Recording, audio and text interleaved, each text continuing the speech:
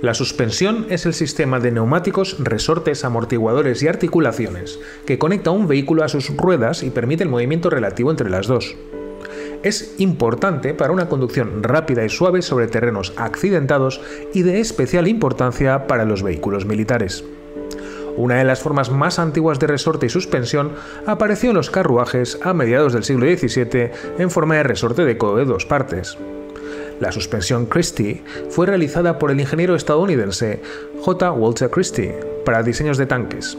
Permitía un movimiento considerablemente más largo que los sistemas de ballestas convencionales entonces de uso común, lo que permitía que sus tanques tuvieran una velocidad a campo a traviesa considerablemente mayor.